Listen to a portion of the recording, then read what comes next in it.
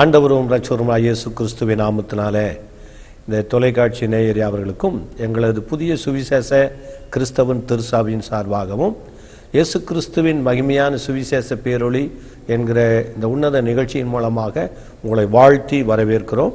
கடந்த வாரத்தில் உங்கள் மத்தியில் கோடை காலத்தில் எவ்விதமாய் நம்முடைய பிள்ளைகளையும் நம்மளையும் பாதுகாக்க வேண்டும் என்கிற ஒரு நல்ல மருத்துவ ஆலோசனைகளை உங்களுக்கு கொடுத்தோம். நீங்கள் அதை அபியாசப்படுத்தி கொண்டிருப்பீர்கள் என்று நாங்கள் நம்புகிறோம் இந்த நாளிலும் உங்கள் மத்தியிலே தேவனுடைய வார்த்தையை பகிர்ந்து கொள்வதிலே மிக்க மகிழ்ச்சி அடைகிறோம். அன்பு தேவனுடைய மக்களே இன்றைக்கு உலகத்தில் பார்க்கும்போது குறிப்பாக நமது தமிழ்நாட்டில் எங்கு பார்த்தாலும் கொலையும் கொள்ளையும் அக்கிரமும் மிகுந்து போய் கொண்டிருக்கிறது. பலவிதமான ஆபத்துகள் மனுஷனுடையதான வாழ்க்கையில் இடைப்பட்டு ஏராளமான மக்கள் மறித்து கொண்டிருக்கிறார்கள். குறிப்பாக இந்த சாலை விபத்தின் மூலமாக இளம் வாலிபர்களும் இந்த கோடை விடுமுறை நாட்களிலே சிறு பிள்ளைகள் குளங்களிலே குட்டைகளிலே குளித்து அது நிமித்தமாய் அநேகர் உயிர் இழக்கிற சூழ்நிலைகள் உண்டாகியிருக்கிறது ஆகவே அன்பு தேவனுடைய மக்களே இந்த கடைசி நாட்களிலே இவ்விதமாய் நடக்கும் என்று வேதம் சொல்லி இருந்தாலும் கூட ஜனங்கள் தப்பித்து வாழ வேண்டும் என்கிற ஒரு விருப்பம் ஆண்டுடைய சமூகத்தில் இருக்கிறது. இன்றைக்கு கூட ஒரு நல்ல செய்தி உங்கள் மத்தியில் பகிர்ந்து கொள்ள விரும்புகிறேன். அருமையான தேவனுடைய பிள்ளைகளே ரெண்டு ராஜாக்களின் புஸ்தகம் நான்காவது அதிகாரம் இரண்டாவது வசனத்தில் எலிசா அவளை நோக்கி நான் உனக்கு என்ன செய்ய வேண்டும்? வீட்டில் உன்னிடத்தில் என்ன இருக்கிறது? என்று சொல் என்றான். அதற்கு அவள் ஒரு குடம் எண்ணெய் அல்லாமல் உம்முடைய அடியாளின் வீட்டில் வேறொன்றும் இல்லை என்றார் அன்பு தேவனுடைய பிள்ளைகளே இந்த ஒரு நல்ல சம்பவத்தை நாம் இங்கே பார்க்கிறோம். எலிசா என்கிற ஒரு தீர்க்கதரிசியின் இடத்துல ஒரு பெண் தன்னுடைய பிரச்சனையை கொண்டு வருகிறாள். அவள் இளம் வயதிலே தன்னுடைய தேவனுக்கு பயந்து நடந்த ஒரு தேவ மனுஷனை இழந்து போன ஒரு விதவை. அவளுக்கு இரண்டு பிள்ளைகள் இருக்கிறார்கள். ஆக தன்னுடைய புருஷன் தன்னோடு வாழ்ந்த நாட்களிலே அவர் வறுமை நிமித்தமாக நெருக்கத்தின் நிமித்தமாக அக்கம் பக்கத்திலே இடத்துல கடன் பெற்று அவர் வாழ்க்கை நடத்தி வந்திருக்கிறார். இவ்விதமாய் திடீரென்று அவருடைய மரணம் அந்த குடும்பத்தில் நேரிடும் போது இளம் வயது மனைவி தன் பிள்ளைகளை வைத்து அவள் எப்படி பிழைப்போம்? என்கிற ஒரு நம்பிக்கை அற்று வாழ்ந்து கொண்டிருக்கிற போது கடன் கொடுத்தவர்கள் அவளை வந்து நெருக்கி உங்கள் இரண்டு மகனை எங்களுக்கு அடிமையாக கொடுத்து விடு. அல்லது கொடுத்த கடனை திருப்பி கொடு என்று சொல்லி பலவந்தப்படுத்துகிறார்கள். இந்த நிர்பந்தமான நேரத்திலே அவள் என்ன செய்வதென்று புரியாதபடி அங்கு இங்கும் ஓடி தன் உறவு முறையாத இடத்துல தன் அறிமுகமான மக்களிடத்துல இந்த கடனை தீர்ப்பதற்குரிய வழியை தேடி அவர்களிடத்தில் அணுகி ஏதாவது கிடைக்கும் என்று எதிர்பார்த்த போது எல்லா நிலையிலும் ஏமாற்றம். ஆக ஒரு மனிதன் வாழ்ந்திருக்கும் போது உற்றார் உறவினர் அன்பு செலுத்துவார்கள். ஆக தாழ்ந்திருக்கும் போது அல்லது வாழ்க்கையில் எல்லாவற்றையும் இழந்து நிற்கதியாக இருக்கும் போது நம்மிடத்தில் அன்பு பாராட்டுகிற கூட்டம் மிக சொற்பமே. ஆகவே இவளுக்கு ஆதரிப்பதற்கு இவளை தேற்றுவதற்கு இவளுடைய பிரச்சனையிலிருந்து விடுதலையாக்குவதற்கு ஒருவரும் இல்லாதிருக்கிற போது தீர்க்கதரிசியாய் இருந்த தன்னுடைய கணவன் சொன்ன எலிசாவை குறித்து அவள் அறிந்து கொள்கிறாள். எலிசா ஒரு வல்லமையான தீர்க்கதரிசி. இந்த எலிசாவின் இடத்துல அந்த பெண் ஓடி போய் தன்னுடைய பிரச்சனையை அங்கு முன்பதாக வைக்கிறதை பார்க்கிறோம். முதலாவது வசனத்தில் ஒரு ஸ்திரீ எலிசாவை பார்த்து உமது அடியானாய் என் புருஷன் இறந்து போனான். உமது அடியாள் கத்தருக்கு பயந்து நடந்தான் என்பதை அறிவீர்.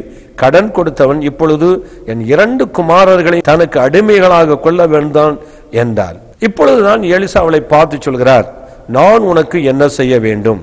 வீட்டில் உன்னிடத்தில் என்ன இருக்கிறது என்று சொல் என்றார். இந்த பெண் தன்னுடைய வாழ்க்கையில் உள்ளதை சொல்கிறாள். அன்பு தேவனுடைய பிள்ளைகளை இந்த எலிசா சொன்ன வார்த்தையை பிரத்யேகமாய் உங்கள் மத்தியில் வைக்கிறேன். நான் உனக்கு என்ன செய்ய வேண்டும்? இதுதான் இந்த நாளின் இந்த பிரசங்கத்துக்குரியதான உங்களுக்கு ஆதாரமான வார்த்தை.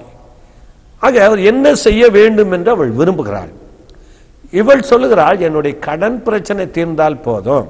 என் வாழ்க்கையை நடத்துவதற்கு ஒரு வழி திறந்தால் போதும்.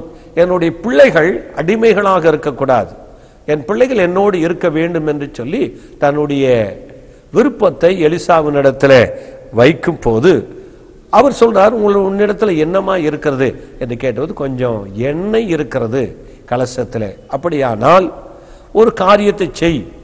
நீ ஓடி போய் அயல் வீட்டில் அக்கம் பக்கத்தில் இருக்கிறவர்கள்ட்டெல்லாம் பாத்திரங்களை வாங்கி உன் வீட்டில் வைத்து உன் அறை கதவை போட்டு உன்னுடைய குமாரரோடு இறைவனை வேண்டிக் கொண்டு சர்வத்தையும் படைத்த தேவனை நம்பிக்கை வைத்து அந்த இருக்கிற எண்ணெயை மற்ற குடங்களிலே வார்த்துவை என்று சொன்னார்.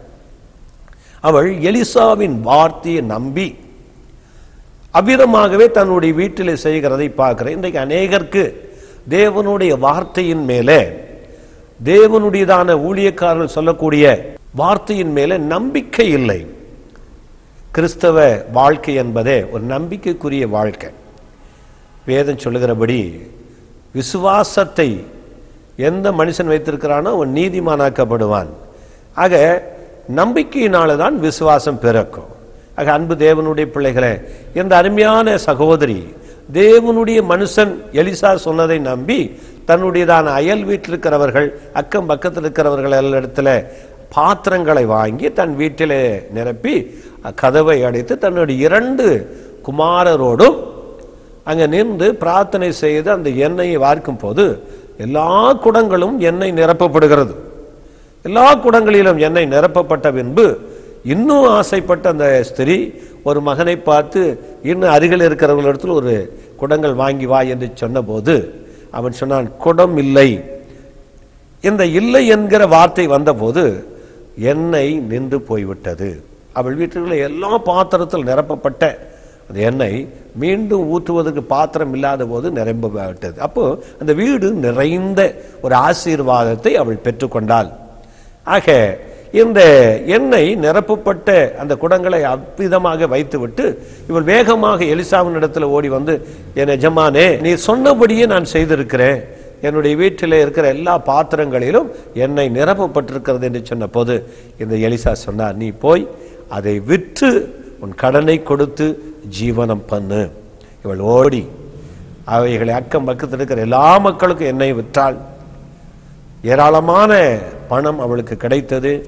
கடனை அடைத்தால் அதை நீண்ட நாட்கள் அந்த பணத்தினால அவள் வாழ்க்கையை செழிப்பாக மாற்றினாள்.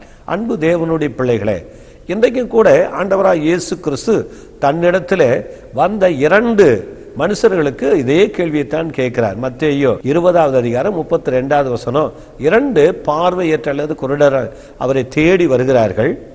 வந்தபோது இயேசு அவர்களை பார்த்து நான் உங்களுக்கு என்ன செய்ய வேண்டும் என்று கேட்டார். ஆக பிரச்சனையை கொண்டு வந்த மக்களுக்கு அவர்கள் வாழ்க்கையில பார்வை அடைய வேண்டும். இதுதான் அவர்களுடைய பிரச்சனை.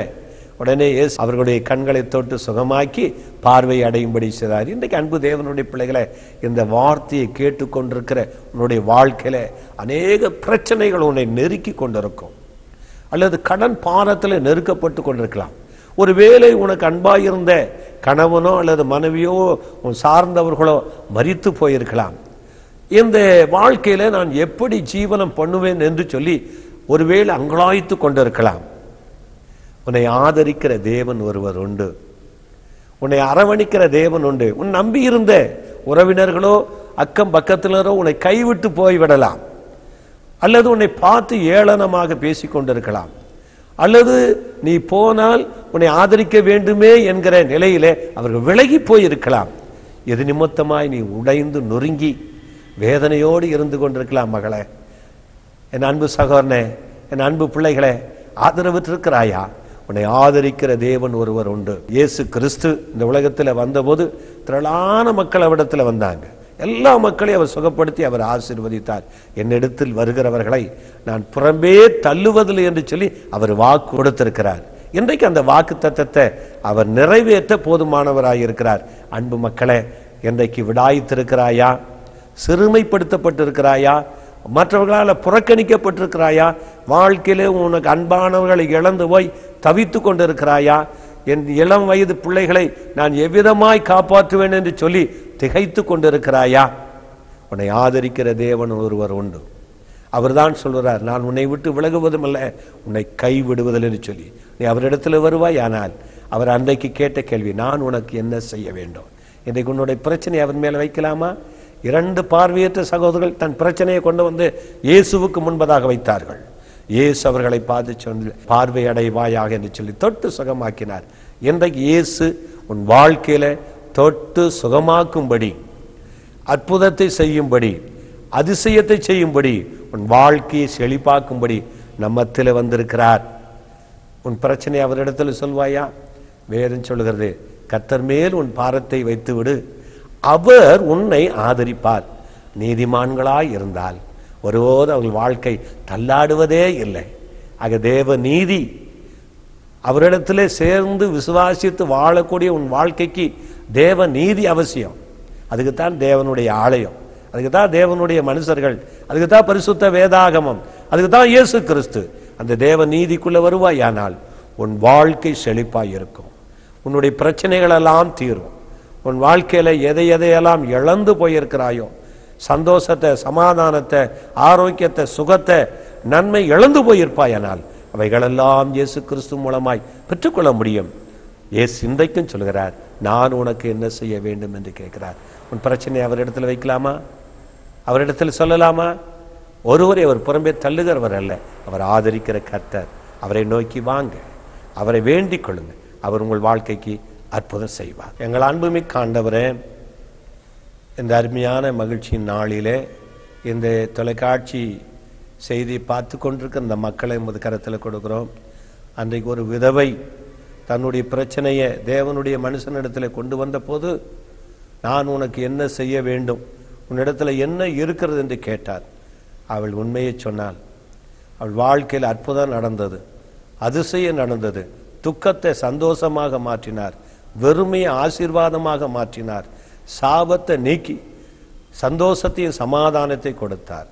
அதே போல ஆண்டவராய் இயேசு கிறிஸ்துவனிடத்தில் வந்த பார்வையற்ற இரண்டு பேருடைய வாழ்க்கையில தெளிவான பார்வை பெற்றுக்கொண்டார்கள் அதே போல இன்றைக்கு ஆண்டவரே நான் உனக்கு என்ன செய்ய வேண்டும் என்று நீர் அழைத்திருக்கிறீர்.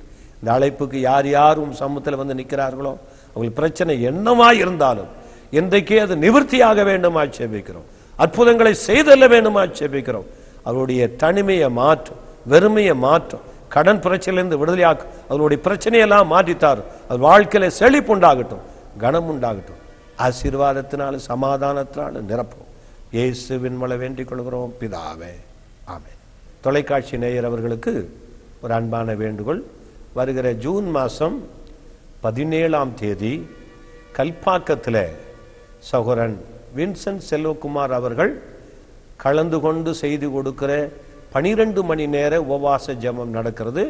கல்பாக்கமும் திருக்கழுக்குன்றம் செய்யூர் திருப்போரூர் காஞ்சிபுரம் மாவட்டத்திற்காக சிறப்பு உபவாச ஜெபம் அங்கே ஏறெடுக்கப்படுகிறது. அதில் எல்லா திருசபை சார்ந்த போதகர்களும் எல்லா திருச்சபை விசுவாசிகளும் சிறப்பாய் கலந்து கொண்டு இந்த ஜெபத்தின் மூலமாக ஒரு பெரிய வெற்றியை விடுதலையை சமாதானத்தை பெற்றுக்கொள்ள அன்போடு அழைக்கிறோம். கல்பாக்கத்தில் 12 மணி நேர திறப்பின் வாசல் தீர்க்க தரிசன உபவாச ஜபம். இடம் பெதஸ்தா மறுரூப திருச்சபை வளாகம். 79 கீழ் இரண்டு சட்ரஸ் மெயின் ரோடு வெங்கம்பாக்கம் கல்பாக்கம். நாள் ஜூன் பதினேழு சனிக்கிழமை காலை எட்டு மணி முதல் மாலை எட்டு மணி வரை. தீர்க்க தரிசன செய்தியும் ஜபமும் தீர்க்கதரிசி வின்சென்ட் செல்வகுமார் அவர்கள் இயேசுவின் துணி ஊழியங்கள் ராமநாதபுரம். தமிழ்நாடு மற்றும் இந்திய தேசத்திற்காய் யுத்த ஜபத்தை ஏறெடுப்பவர் சகோதரர் ஜான் கே. இயேசுவின் துணி ஜெப ஊழியங்கள் ராமநாதபுரம். திருக்கழுக்குன்ற தாலுகாவிற்காய் மன்றாட்டு ஜெபத்தை ஏறெடுப்பவர் சுவிசேஷகர் ஜே எட்வின் சேலஞ்ச் ஜெப ஊழியங்கள் சென்னை. துதிப்பாடல் ஆராதனை நடத்துபவர் pastor F George Arunodhayam youth challenge mission ஊழியங்கள் சென்னை. தொடர்புக்கு ரெவரன் ஜோதி பிரகாசம் புதிய சுவிசேஷ கிறிஸ்தவ திருச்சபை ஏகாட்டூர் செல் நம்பர் ஒன்பது நான்கு நான்கு மூன்று நான்கு நான்கு ஒன்பது ஏழு மூன்று மற்றும் ஒன்பது எட்டு எட்டு நான்கு ஆறு ஐந்து இரண்டு மூன்று இரண்டு ஏழு. Pastor N. M. Jaisingh Bethesda மறுரூப திருச்சபை செல் ஒன்பது ஒன்பது ஒன்பது நான்கு இரண்டு நான்கு ஐந்து நான்கு இரண்டு ஒன்பது. மற்றும் ஒன்பது ஐந்து ஆறு ஆறு ஐந்து ஒன்பது ஐந்து எட்டு ஐந்து மூன்று. எங்கள் சபையின் ஆராதனை நேரங்கள் ஞாயிறு காலை ஏழு மணி முதல் எட்டு முப்பது மணி வரை ஆங்கில ஆராதனையும் ஒன்பது மணி முதல் பனிரெண்டு மணி வரை தமிழ் ஆராதனையும் மாலை ஏழு முப்பது முதல் ஒன்பது மணி வரை தெலுங்கு மற்றும் தமிழ் ஆராதனை நடைபெறுகிறது. வெள்ளிக்கிழமை தோறும் பகல் பதினோரு மணிக்கு உபவாச ஜெபம் நடைபெறுகிறது. நீங்கள் எங்களுடன் தொடர்பு கொள்ள வேண்டிய முகவரி ரெவரண்ட் ஜே. ஜோதி பிரகாசம் புதிய சுவிசேஷ கிறிஸ்தவ திருச்சபை ராஜீவ்காந்தி சாலை புனித தோமா தெரு ஏகாட்டூர் சென்னை ஆறு பூஜ்ஜியம் பூஜ்ஜியம் ஒன்று மூன்று பூஜ்ஜியம்.